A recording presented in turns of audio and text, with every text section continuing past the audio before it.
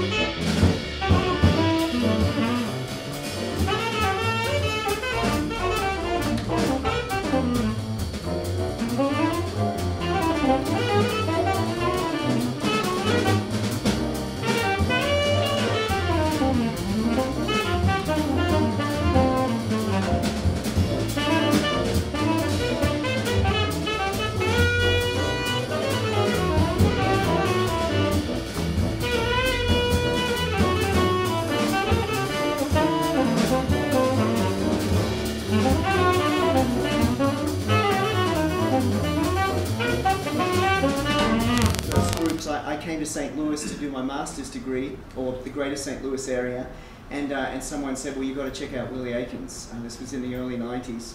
And um, I said, okay, and, and uh, I came down and I heard Willie play at Spruills, and fortunately, my, uh, the person I was working with over at SIU, Reggie Thomas, who I'm sure many of you are familiar with, uh, said, you know, um, uh, Willie Aikens is always looking for uh, people who want to mentor and learn about this music. And so I was fortunate to uh, Willie had an opening on a gig and he called me and he said, well, come on down and, and play, as he does with, with any young enthusiastic player wanting to be part of his circle. And uh, I came down and played, but I got the shock of my life because I thought I was pretty good, you know. And, uh, and uh, I showed up at the, the gig, and, and um, uh, you know, and I think I was subbing on a Spruills day uh, down there. Perhaps it might have been something else. I'm not sure. But um, anyway, I was a little a little trepidatious, but I thought that I could handle it, you know. And uh, so the first shot came when Willie started playing, and and uh, you know he plays one chorus, two choruses, you know, three choruses, and I'm starting to perspire a little, you know, and uh, and I'm just copying in the rhythm section, you know, and uh, and before I know it, you know, Willie's played, you know, 40, 45 choruses, and, and, my shirt is soaked through, you know, and, and I haven't even taken a solo yet. And I thought, oh, this is not what I expected, you know. And then he turns around. He this is Willie's old trick. He, he gets to the, you know, he wants to get to the rhythm section to the intensity level that he likes it at, you know. So he'll keep playing until it gets there. And then when it gets there, he turned to me and he said, "You got it." and he walks away. He walks away from the bandstand. So, so I play, you know, everything I know in one chorus, two choruses, I think, oh yeah, I'm sounding good. This is great. I'm, I'm hanging on. I think I've made it. I, I think I'm all right. I look up. Willie said, yeah, man, sounds good. Go on, play some more. You know? so I play another two choruses. You know, I'm sweating everything I know. And Willie's looking over there, he's still grinning, and he says, yeah, keep on going.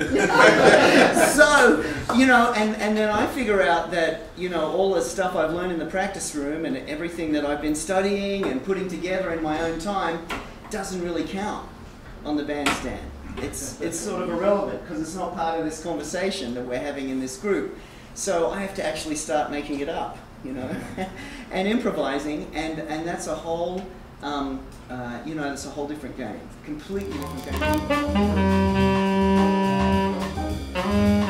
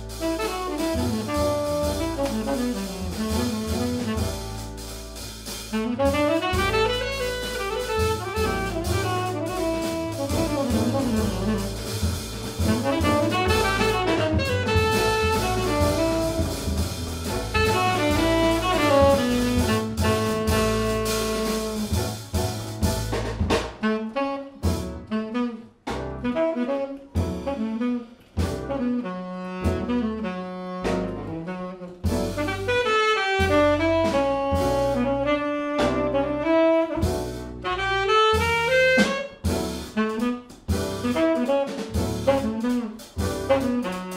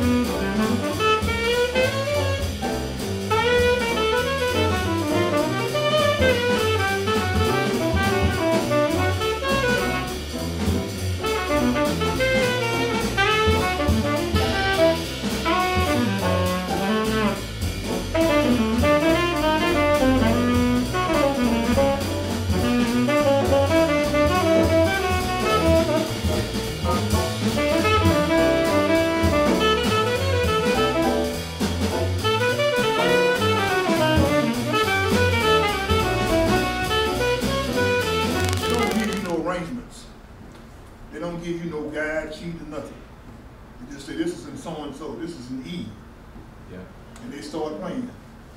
And they expect you to know the tune from listening to the radio or something like that. So, so that's, that's only, that's the only knowledge you have of, of learning that music, you know. Uh, That's why, when I came back here, I said, well, when I was coming up, Sonny Stitt used to used to play. I used to go see him. C seven, F nine seven, B flat.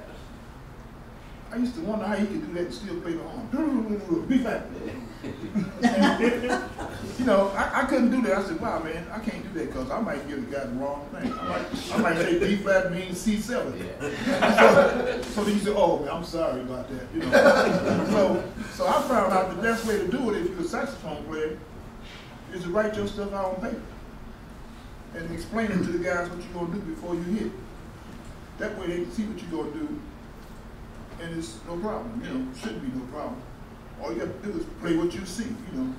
So I started doing my stuff like that. Well, I'd have to turn around to somebody, not unless they were real obviously wrong. Man, that's not right. Play this. you remember those days? I used to tell them on the band, say, man, look at the paper. You know, some guys, they'll just, you give them a piece of paper, man, they think, they still think they know it. They'll just be playing. I had a guy named Max Potts one time. He's a piano player from over on the south side.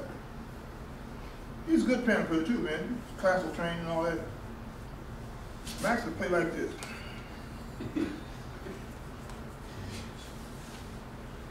I said, Max, you got to look up every now and then, man. On the bandstand, eye contact is how, how, how we keep things together.